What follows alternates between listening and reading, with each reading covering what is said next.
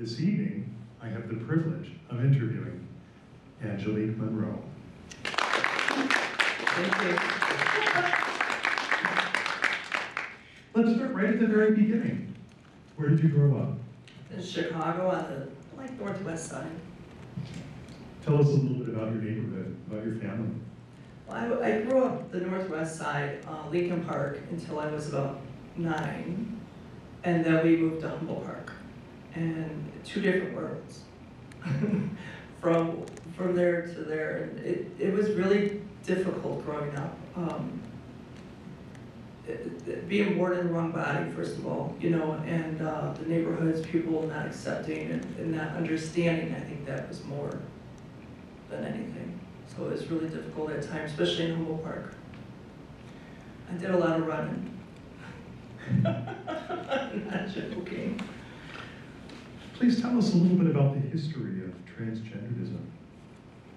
Well, I didn't know that much about it myself. Um, when I was born, my brain told me I was a girl. I always felt female um, early on, I would say from like two years old. Um, I was born an only child, and I would tell my mom, you know, I'm a girl, I'm a girl, and she would say, no, you're a little faggot. And the abuse that I encountered as a kid was really difficult. Um, because you don't know anything. All you know is what happens in your home and you think that's normal. So the abuse I encountered, I didn't realize until much later on how bad it really was. Um, she, her, her thing that she used to do was she would choke me, throw me to the ground, and then step on my throat with her foot. And um, that happened until I was like around 13 or so. So it was really difficult. Um, trying to understand or make some sense of why I was born in that form with a penis. I should have a vagina. And um, my brain kept saying, you're a girl, you're a girl. And my cousins, you know, I was really close to a couple of my girl cousins and I would play dress up with them. And uh, it was like a little moment to be free and to be, who, you know, it felt normal. And um, yet we would do that behind closed doors. And I did that for many years behind closed doors in my bedroom. I would um, put like a sheet, wrap it around as a dress, or a towel in my hair, um, or even a t-shirt, and um, just have my alone time, you know, live in my own little world uh, where it was sort of safe. Why do you think your mother had such a strong reaction to your wanting to be a girl? Well, I was born in 1970, and I think um, in 1970, they knew pretty much, well, my parents were not educated, you know. Um, my mom went, I think she went through like maybe freshman year of high school, if that, and my dad, he went to like fourth grade, he had to work on the farm, so they, they really didn't understand what transgender was. They knew gay, straight, and they knew their son was not straight, you know. Um, so I think uh, throughout the years, I, I learned that she looked like what she was worried about what other people thought of her, you know, um, to have this child that was different. And um, so she would always say, You're gay, you're a faggot, you're queer. And while she would beat me, um, I'd have to go to school with, you know, a turtleneck on and to cover up the bruises and stuff. Um, and again, I never thought anything different. I thought, okay, I must be this, what my mom's saying, I must be gay. So I lived um, that type of lifestyle for a while, and it just didn't feel right.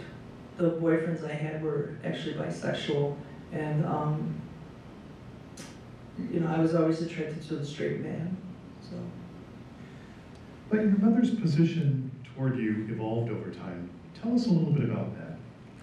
Yeah, I want to make one thing clear. Um, I was on television and editing is really something, and they made her look like a big old monster, as I just did partially. But there was a lot that happened that I didn't know until I was much older as an adult. My parents divorced when I was 27, and my mom come to live with me and we talked and talked for two years. We lived together, and she told me that she, I got the chills. She was abused. She was raped by her father. So it's a cycle. And, you know, all the abuse. I was raped and molested by two uncles um, and a neighbor. And every time I would go to my mom and say, you know, this is what's happening, or, or she saw the blood coming out of my anus, um, she said, well, you deserved it. You asked for it because you keep saying you're a girl and you're acting so feminine.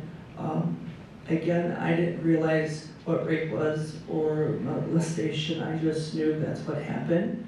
And with my one uncle on my mom's side, it was pretty consistent, um, almost every Friday night, um, long time. And I think, I, I know for, for a fact that the reason why I don't like older men is that's prob- probably why. And, um, you know, I'm still terrified. I don't like people coming up behind me and, and those type of things. At 42 years old, I still jump, you know, spooked in my own house sometimes. And I think that's all from the childhood abuse. How were you able to resolve some of that? Counseling. Many years of counseling. Um, you know, I think I'm a survivor. And there's a reason for every single thing that happens in the world. And I learned that through therapy, um, good, bad, and indifferent. And I think um, the things I went through were horrible, but we can't dwell in them. You got to become stronger, and be, you know, you got to set that free. And uh, the sad thing is, my one uncle's still living, and, and I don't see him. I haven't seen him for many, many years. But I started transitioning. Um, it's to be seven years, and um, my aunt died right after my mom did, a year after, and I went to the funeral as Angelique, and he come up to me, and I said, Ricky, you get the hell out of my face. I will kick your ass. I will, I will find a, a weapon, and I'm not violent at all, but it's like you, you, it sort of felt like, wow, I actually said something, I actually done something, whether it's just been verbal, but it still felt good to release that, you know. What was his reaction to that? He said, mm-mm, you sure look good. Yeah. Uh, he's sick, you know, it's, it's illness. It, my grandfather was ill, you know, my grandparents had twelve kids, and he molested every single daughter. It's disgusting, you know, and the sad thing is, they don't say or do anything. No one stepped up to the plate. And I was very angry with my mom throughout the years. I said, you knew how sick your dad was and your brother. Um, why would you put me there, you know, every weekend? Um, let me stay at my grandma's because I was really close to my grandmother, but then if I fall asleep, they would put me in Ricky's bedroom. Not realizing what was really going on, or maybe they did, who knows? So, yeah, it's, it's just gross, it's disgusting. Let's take a few steps back. You mentioned knowing you were female when you were very young. How did you come to that realization? Well, you know, I was close to a couple girl cousins, and I just, we, there was a bond. It was, and the boy cousins, there really wasn't a bond. As in, they're all playing sports and, and all those things. I wanted Barbie dolls, a redhead Barbie. I did, I really did. My cousin Tina had one redhead Barbie doll, and I said, that's mine, don't you lose it, don't you touch it, don't play with it until I come back. and, um, you know, yeah, it, it, you know, I think um, you just know. It's just one of those things. You ask anybody. People have asked me that those questions too when I do the lectures at colleges, and universities. How how did you know? It's exactly. I'm asking you exactly the same question. How did you know you were a boy? You just did. It, it was just one of those things you just did. Who was Teddy? I don't remember. Teddy was a lost soul. Um, an interesting fact, though, that was my birth name, for those of you who don't know. Um, it wasn't that miserable. There's a couple folks in this audience who knew me then, and they're still with me today. I've lost so many people when I transitioned. Um, but I'm very fortunate to have those with me today. And I learned through therapy don't dwell on the past, be thankful for those with you around here, you know. And it's true, because I used to always say, why can't this one be here? Why can't this? Why can't? And it's more about be thankful for those who are here. And I think Teddy was one of those things that um, had no choice. And once my mom got diagnosed with lung cancer, I had a choice. I was going to be set free to become who I truly am meant to be. And um, I always said the day that she died is the day Teddy died.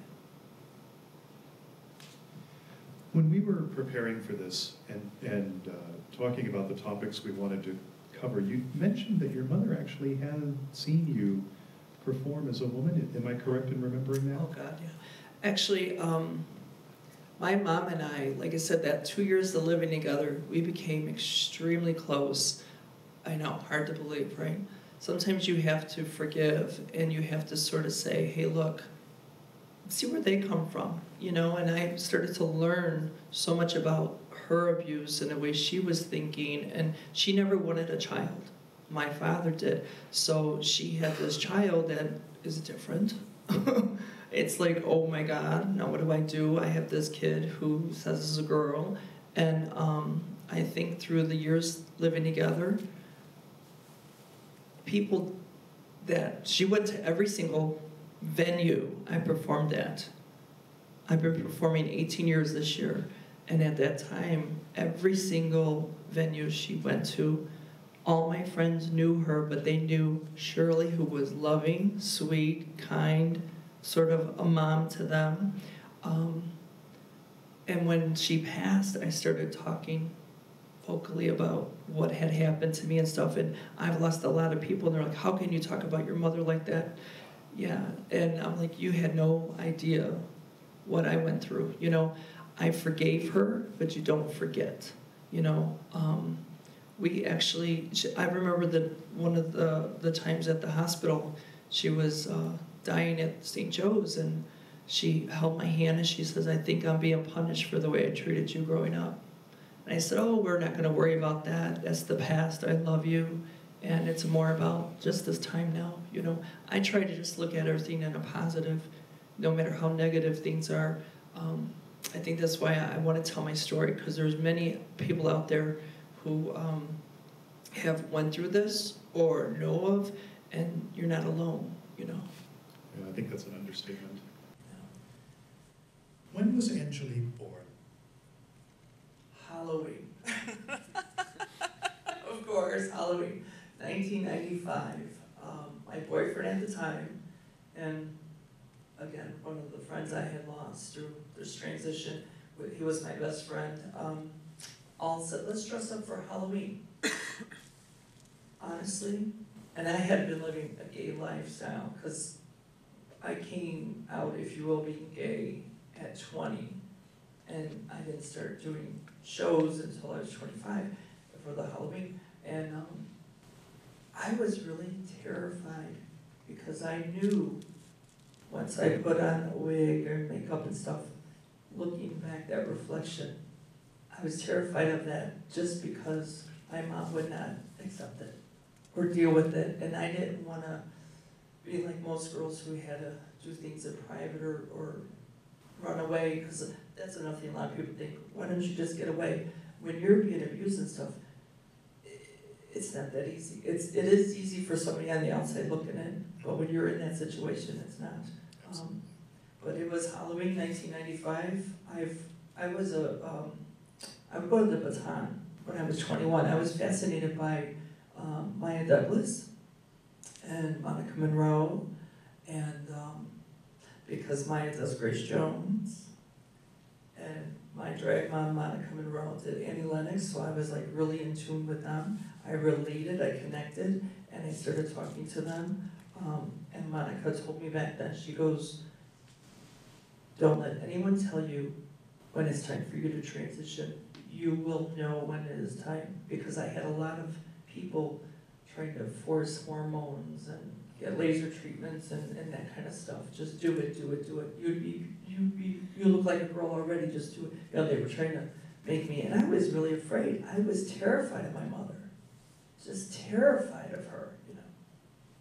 So that's when Angelique started. It was, I got spotted at Roscoe's by two of the managers from the Baton Club, and they said, Teddy, is that you?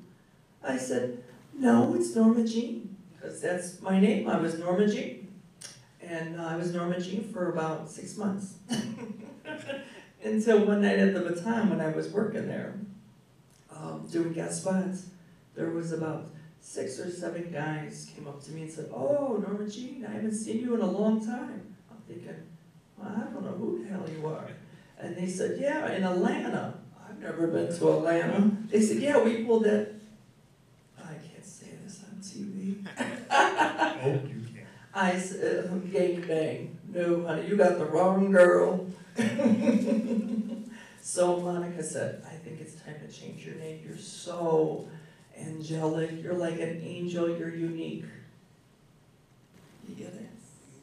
I went home and I wrote that out and I said angel, angelic, unique, and came up with Angelique. Is, is your drag mother Monica here this evening? I don't think so. I haven't seen Monica in a while. We used to work together, but yeah. Okay. Well, if she were here, I would have asked for an introduction, but I guess she isn't. What significance has Marilyn Monroe to you? Well, you know, a lot of people think it's, it's, um, the acting or, or whatnot. I think it's the, the sense of being wanted and loved and, um, accepted. For you, you know, um, she had a quality, she told stories with her photos. And she looked different in every photo. Um, and I think, I'm not bragging, but I think we have that similarity in my pictures. Um, when I take photos, I've had photographers tell me you could see through the eyes, the soul. And um, that's, I've always been fascinated with Marilyn. That's why my drag name was Norma Jean, which was her real name. And then here, Monica took me under her wing. It just happened her last name being Monroe. So I said, Angelique Monroe, that's it, I'm done. So, The Phil Donahue Show had a tremendous impact upon you. For those who may not remember, Phil Donahue was a talk show host 100 years ago. Please tell us a little bit about that. Oh my God, I remember they would have drag performers on there uh, from Vegas, impersonating stars, different characters, and I was in awe. Never thinking, I want to be like that, I want to do that. I was just really drawn towards it. And then one day, after school, I would get home and it would be on, you know, like three o'clock or whatever. And I remember um, the topic was about performers and transvestites, transsexual. I said, what the hell's that? Oh my God, what is this? So my mom and I were watching it, and uh, it was this, this girl got on there, she was a black lady, and she said, um, I was born in the wrong body, I'm transgender, and I went, oh my God. I was leaping off the chair. I was like, oh my God, I think I finally found a connection. And I told my mother, I was around 17 at the time. I said, Mom, I think that's, that's me. That's exactly me. I feel exactly the same way. She said, Nah, you're just a faggot. And she actually really beat me badly that day. And um, I went and tried to commit suicide. Um, it was one of the last times she ever hit me. Uh, it was just really bad. But I finally found a word. You know, I found this trans world and I was trying to research it and see exactly. However, that's a huge umbrella. As most of you probably know, you have cross-dressers, transvestites, all these people under this umbrella. So it was hard for me trying to say, that's me, that's me, that's me, that's me. I relate very well with a biological woman. I feel like I'm on the same page with them. So it- it's been really a bumpy road, you know. If anyone asks me how I self-identify, I'm a woman. Just happens I was born transgender. I like that. Please tell us a bit about the lectures that you're delivering at schools. I actually started doing that. Um, UIC is a huge one. All the medical health uh, field and, and colleges and universities, uh, I've done about six different ones throughout the years. Um, and it's not only on trans issues, it's on HIV and AIDS as well. Um, my cousin, she had, she was diagnosed with AIDS in the mid 80s. Um, that's first, first real eye-opener experience. Um, it was really devastating because back then it was it was death. It really was death. And she was a heroin addict. She was straight. Her and her husband were shooting up with a gentleman who had full-blown AIDS, and she contacted it. And uh, her husband couldn't handle it. New Year's Eve, '87, he killed himself. And um, so I tried, so, you know, I, I always told myself if I ever was gonna do anything, I would do the fundraising and whatnot in her honor, you know? And I've been doing that for many years as well. So I can speak on trans issues, I can speak with the HIV and AIDS. Um, It's just never thinking, you know, throughout all those years, um, that looking back, you know, she died at 29. So looking back, it's like yesterday. I could still see her, you know. What response do you get from the audiences to whom you speak? Well, that's, you get a lot of different responses throughout the years. I've got some, now you're talking to interns, medical health people, social workers, caseworkers, um, anyone in the mental health field. And most of it is very, you know, cut and dry, and then some things their little minds are wondering and going back and forth, racing, and they'll throw up their hand and they'll say something inappropriate. you know, of course, I, I'm there and I'm just like, I'll answer anything, but still respect me, you know. So, yeah, it's been interesting. Most of it's just like Uh, in the medical field, how have I been treated? You know, and it's some things to me are really stupid. Which bathroom do you use? Hello, anyone knows that? The closest, you know. I've been using the female bathroom for years, and then the question, stupid questions like, do you sit down? Do you stand? I've been sitting down since I was a kid. You know, they don't get it. I think their focus is in this area, and it's your brain. You cannot change the brain. You could alter the body parts and whatnot. If your brain says you're female, you're female. Absolutely. Please tell us a little bit about the Day of Remembrance that was in November. Yes, every November, and it's it's a day for um, it's to remember transgender, um, predominantly women, but it's open to the community, uh, male and female, and I have not, and I'm sort of just getting involved now with transgender issues and and whatnot, I'm trying just to embrace that part. Um, so I have not really done much with them, but it's like a lot of the abuse they encountered, the deaths um, caused by, you know, people being ignorant. So it's a day to remember our brothers and sisters who we lost. Do you do anything in particular to commemorate?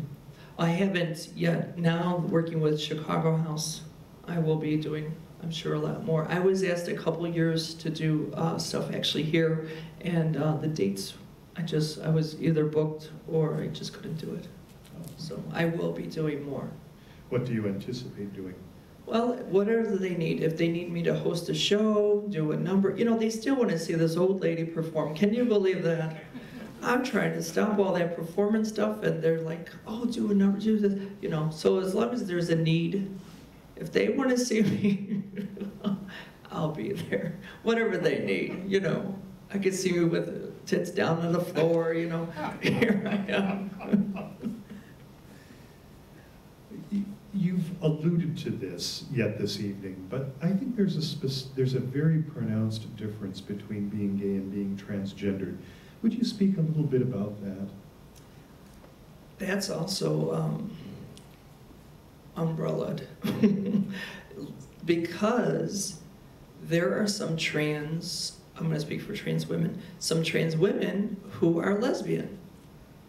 So it, it could be very confusing.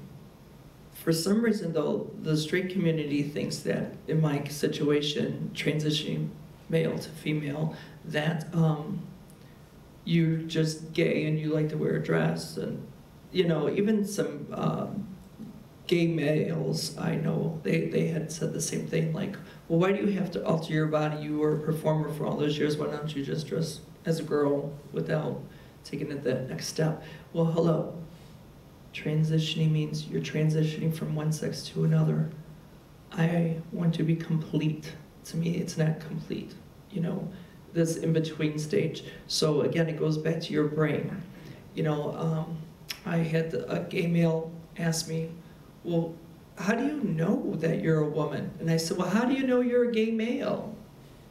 And he goes, "Oh, I'll shut up now." but it's true, you know. And there's so many people who are bisexual, and and we could go on and on. You know, it's more.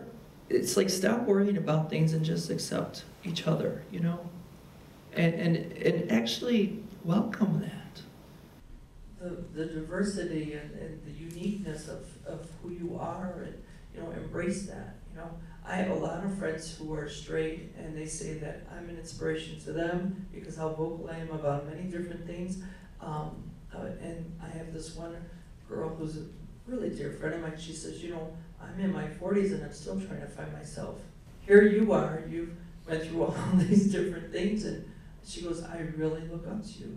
So see, it's not really a gay issue, a trans issue, it's a human issue. I think that's what we, you know, we need to acknowledge that we're human. It's not, these labels, you know, everybody has a label. But I think if, if this world would just look at us as humans and, and, uh, and embrace that, we'd be much better off. In, in building on that a little bit, um, when you began your transition process, how did your employer approach that situation? I worked 12 years in accounting, um, so I transitioned during that, that time. I remember um, when my mom got diagnosed with the lung cancer in 2004, um, I asked I, my doctor and a therapist because since you, when you try to commit suicide, you have to see a therapist and for many years and on drugs and everything. So um, I said, I really think I'm going to transition. The doctors say they give her between a year and five years, and I won't do it until she passes. But I think I'm really going to do this. So I went into my employer when my mom passed away, and I said, uh, I'm going to start my life as a woman. And they said, okay. And I went, what? But I think that's because the audience, or the audience, the, um, the majority of the people I worked with were women. And they've been to shows and they saw me. I was never quiet about anything. I've always been very vocal about who I am and whatever. It helps. And I learned it through therapy, let it out because I suffered from major depression so many years from everything I've been through. And I, I think that helped at that time, it helped me through my job until I got a new boss. Then all of a sudden I got let go. But you can't, you can't, discrimination, you, you can't prove it. They let go fight, it was the economy, you know, all that crap, so it's hard to say. But besides that, they were very supportive. Um, I left on a Friday with Teddy on there on my door. I came back on Monday and it said Angelique.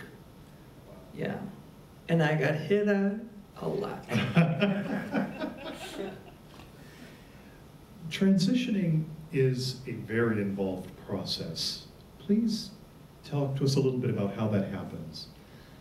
Well, if you do it the right way, transitioning the right way to me, but I always said if I was going to do it, I'm going to do it the right way. And to me, it's seeking the doctor, don't buy shit off, the, uh, stuff off the streets, you know, and a lot of the girls do.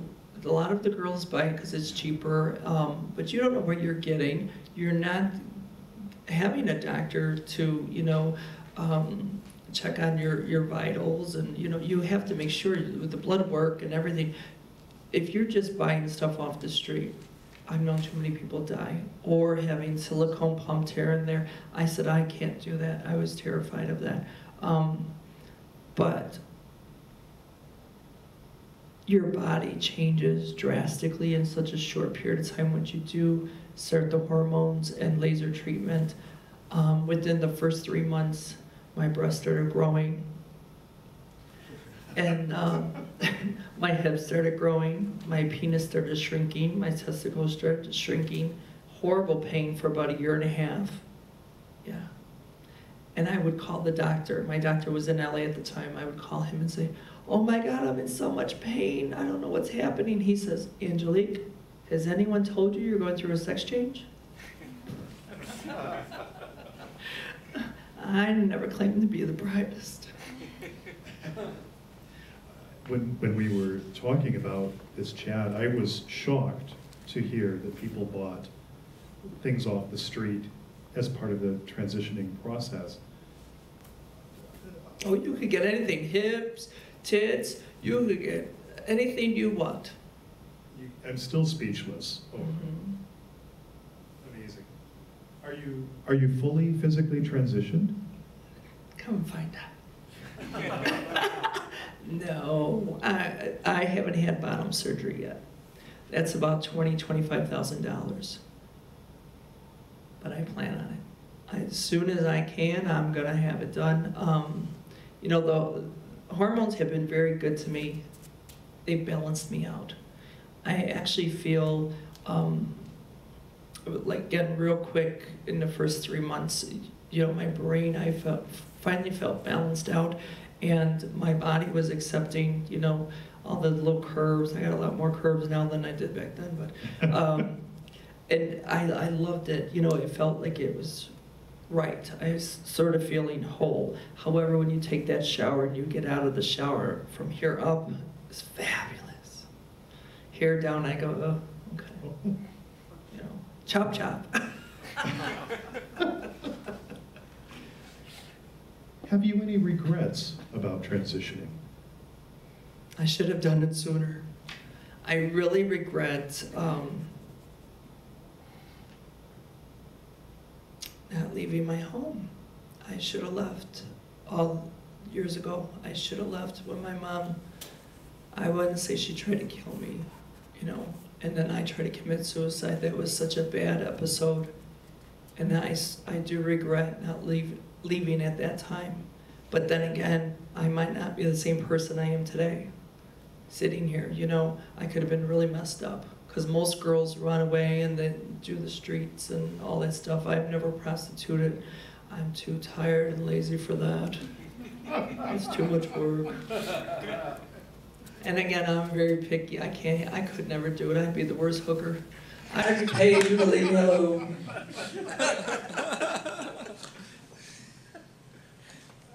Why do you think society has a negative image of transgendered people? Well, unfortunately, um, wow, I gotta watch how I say this. Unfortunately, the- trans girls and boys who are out there that others know of, it's all negative. Um, you know, I want to change that. I want to change people's views. You can come from, you know, Humboldt Park area, be abused, all this horrible, terrible stuff, and still be here and, and be somebody you can look up to. You know, I wish I had that when I was growing up. And I think a lot of the girls um, are followers. I'm a leader. I've never been a follower. And a lot of the girls, um, and I can't blame them, you can't judge anybody, but I just, sometimes I want to shake them and say, what the hell's wrong with you? Why are you doing these things, you know?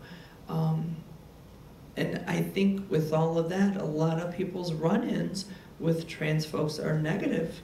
I've had many people tell me, I didn't even know you were trans. And I've changed their views once they met me. And, and, and that's, I think maybe that's my purpose in life. You know, maybe that's what I'm still doing here. Why I didn't die years ago, all that abuse, everything I went through.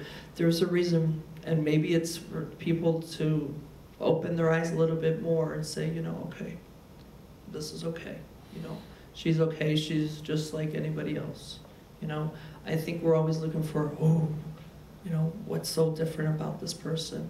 You know, and uh, everyone has a story. You know, a lot of the girls I talk to, they they've been abused and all these things, but that's the life they know. Like I knew all about the abuse.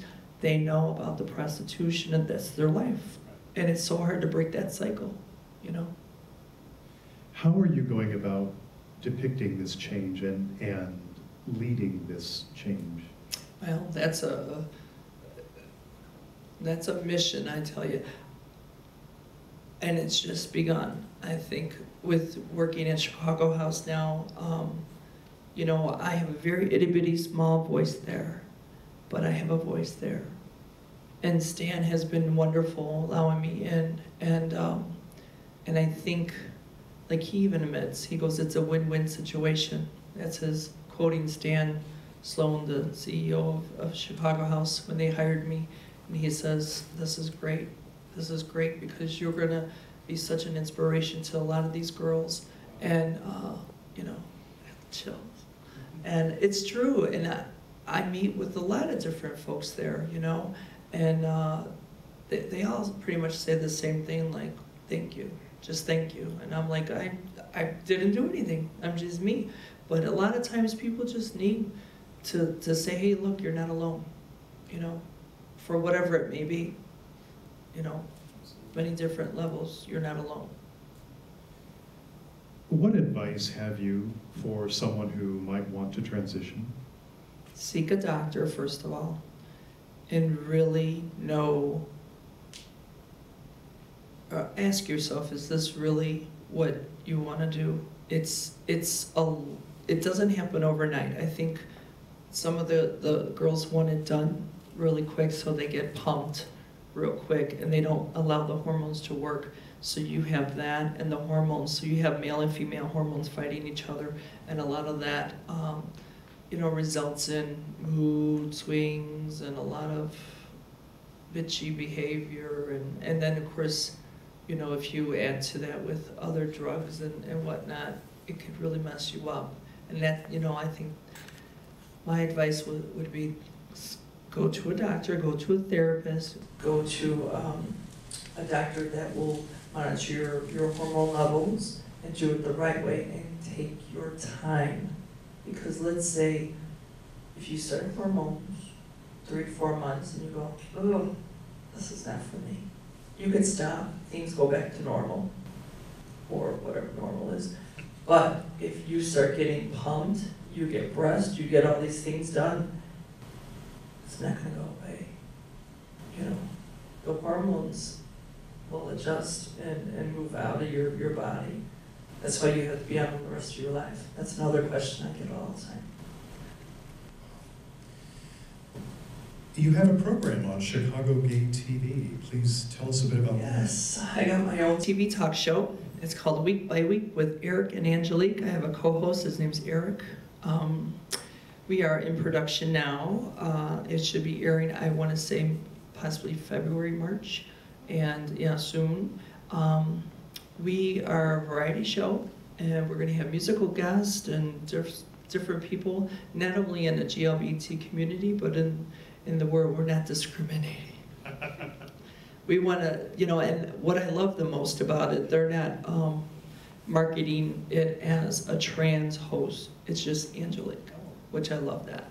You know, as with Eric, it's it, which is great because, you know, um, again with labels everywhere. You know, we all have these labels, and why can't we just be looked at as ourselves? You know, and uh, it's it, sh it should be a lot of fun. It's it's fun already, and uh, we'll see how it turns out. People need to tune in. www.gayshoot. Uh, gaytvonthego.com. It's web-based. Yeah. So we'll look for that in, you said February or March? Yeah, Okay. yeah, because we're just in production now, so, yeah. Wonderful. Please tell us a little bit about your show up at uh, Atmosphere. I had the privilege of coming and seeing you perform. Diva. I love Diva. I have some divas here, yes. um, Diva is fun. I've been hosting my own show throughout many years at different bars. Currently, it's at Atmosphere, like you said, and it's the first and third Sunday of the month. Um, we do different themes.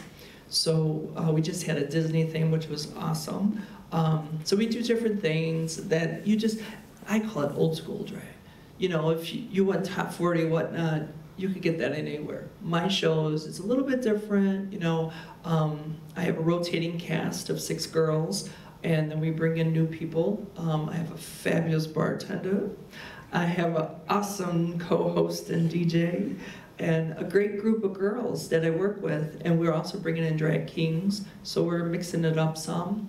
Um, you know, it's gonna be a lot of fun. It has been. It's just over a year, and uh, it's a lot of fun. And the crowds. I just got a. I think one of the greatest compliments this this past show um, by a coworker at Chicago House. She said it felt like Cheers where everybody knows your name and everyone's singing along and having a great time and and they'll definitely come back so then that's what we want we want you to come in and be welcomed you know If you could go back in time to speak with Teddy, what would you tell him?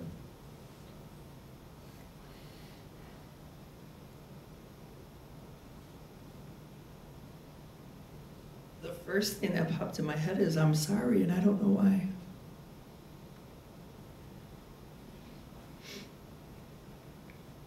But you know for years uh, it's like the fat girl who lost all the weight and you look in the mirror and you still see yourself fat. I still see him looking back at me sometimes. And just it was a lost soul you know? Just wanting to be loved and accepted and I know as Angelique, I'm very much loved and accepted.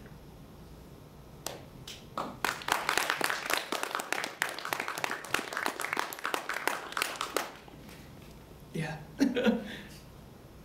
What's the biggest misconception about you?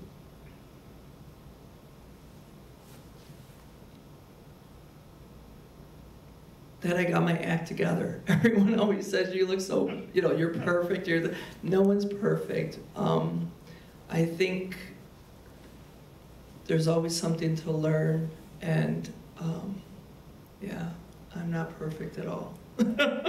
not in any way, you know. We all have flaws, and maybe that's what makes me unique, is because I don't believe my own press.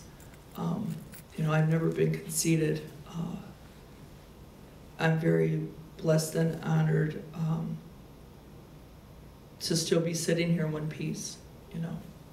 So, yeah. I would like to thank you very much for being a part of our Chicago history, and I'd like to thank you for a great interview this evening. Thank you.